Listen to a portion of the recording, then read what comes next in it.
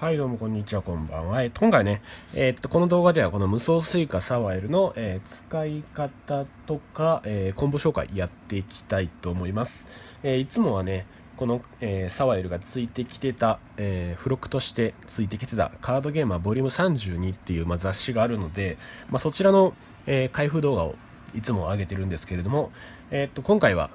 えスタイルを変えてね、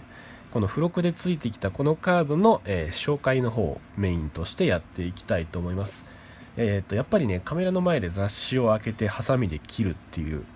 はい。まあ、動画が面白いのかちょっとわかんなくなってきたので、えっ、と、今回からちょっと趣旨を変えて、まあ、こんな感じで、え撮影していきます。うん。まあ、どっちがいいのかとかね、よかったらコメントを、えお待ちしてます。まあ、くれて、えーコメント次第でね、ちょっと反応していきたいかなと、はい、思います。あとは高評価、えーとかね、低評価とか、まあ、そこを参考にして決めていきたいかなと、えー思います。えーっと、まず、この無双スイカサワイルというカードなんですけれども、えカードゲームはボリューム32でついてきてた、えっと、プロモーションカードになってます。えサワイルですね。まあ、サワイルっていうカードが、えーディーバーアカデミーのキャンペーン、声優さん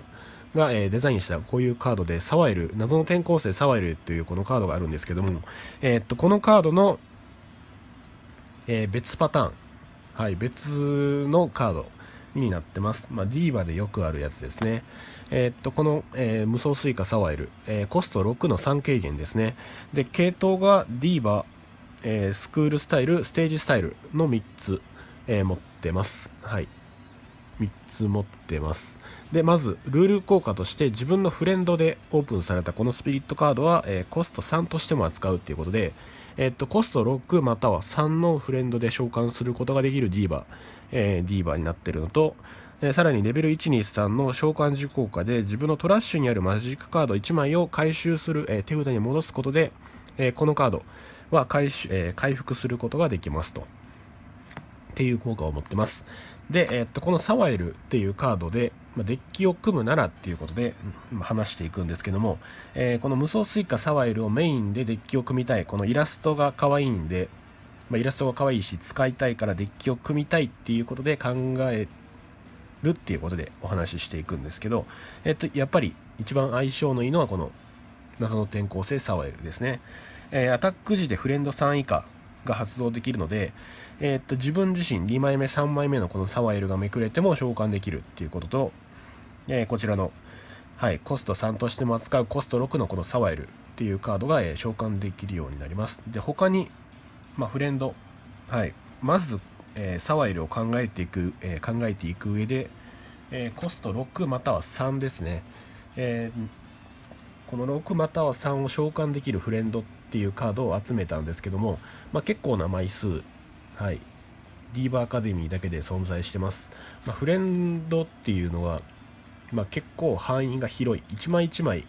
ね、例えばこのリゼクロムエルとか、えーフレンドが3、4、5っていうことで、えーっと、まあ、基本的に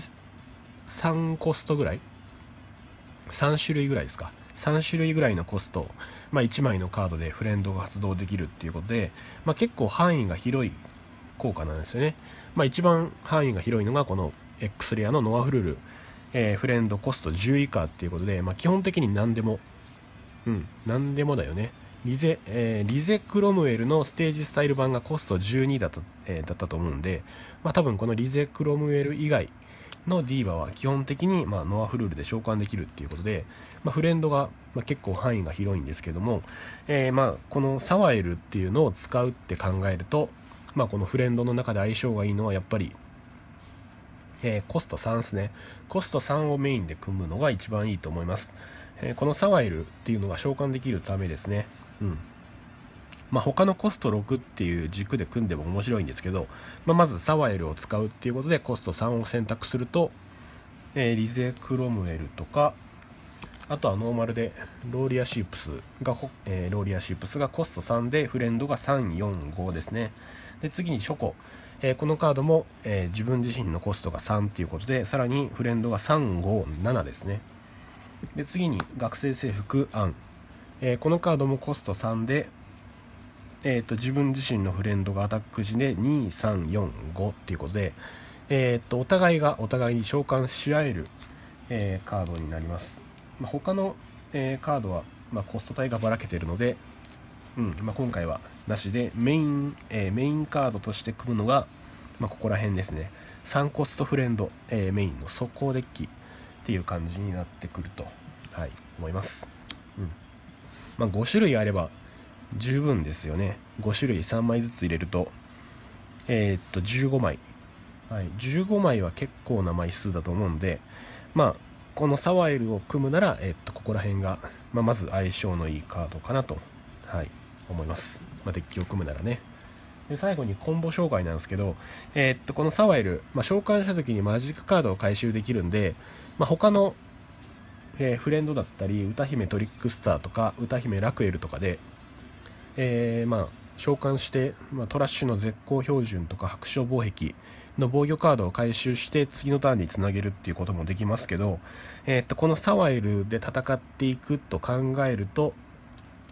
はいやっぱり、えー、っと無限アタックがしたい回復できるので、まあ、無限アタックがどうにかできないかっていうことで考えました。えー、っと、まずクリケッツですね。え、っと、ディーバーっていうのが召喚値効果を持っているカードが多いので、えっと、クリケッツを採用して、はい、この召喚時効果を何度も使うっていうコンボ、えー、っとコンセプトで考えると、まあ、まずクリケッツ。でまずクリケッツなんですけど、えー、レベル4の自分のターンの効果で自分の赤または、えー、赤または緑の、えスピリットが持つこのスピリットの召喚時効果全てをアタック時効果に、え発揮できるっていうことになってます。で、えこのサワイルの、え召喚時の回復するっていうのをアタック時で使って、え無限アタックをするっていうコンボになります。でまず赤または緑のスピリットに変更しないといけないのでまあブレイブカードで、えー、全魔人ですね。はい。全魔人がコスト、えー、4の色が全色6色持ってます。なので6色の全魔人にサワイルをブレイブすることによってえー、っとクリケッツの発動を可能にすると。でさらに、えー、全魔人がブレイブ条件がコスト3以上はい、両方コスト3以上のブレイブ、えー、条件のイマジンブレイブなので、まあ、さっきのね相性のいいここら辺のディーバたちディーバたちが3コストっていうことで、まあ、ここにもブレイブできてまあ3コスト軸のデッキには相性がいいかなっていうので今回は全魔人を選択しました、えー、なのでね全魔人を、えー、ブレイブして、え、クリケッツの効果でアタック時に使うと。でさらに、え相性のいいのは持っていればいいんですけど、え、ー、と、ドスダイモスですね。ドスダイモスは自分の、えー、お互いの、お互いそれぞれ、えー、手札が4枚以上になった時に手札が3枚以下、え3枚以下になるように破棄するっていう、え効果を持ってます。まあ、これがあると、まあ、どうなるのかというと、えーと、自分のトラッシュにマジックカード1枚、まあ、魂のリフレインとか何でもいいんですが、えー、マジックカードがトラッシュにある状況で自分の手札が3枚の時にまあ、3枚の時に、えー、サワイルがアタックすると,、えー、っとまず全魔人の効果で、えー、右側か。右側のアタック時効果で、え相手のデッキ1枚を破棄しますと。そのカードがスピリットカードならこのカードはブロックされなくなるっ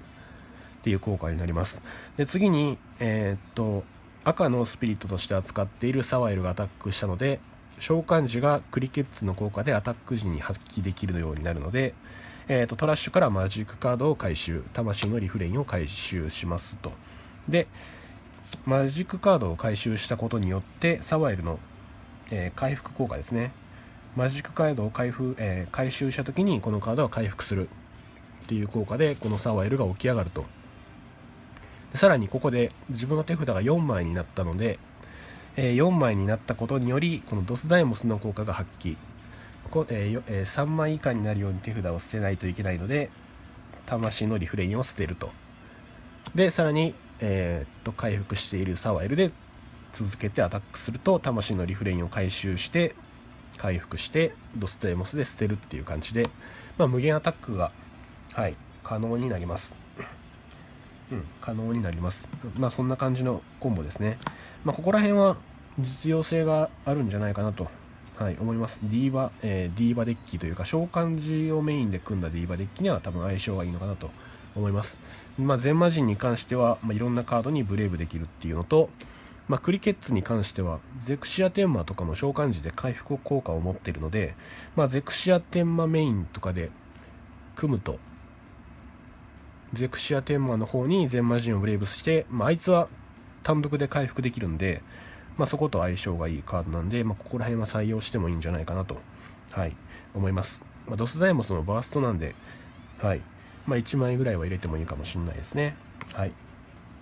まあ、今回はこんな感じで、えっと、無双スイカサワエルの、えー、カード紹介の動画でした。えー、よかったらコメント等お待ちしております。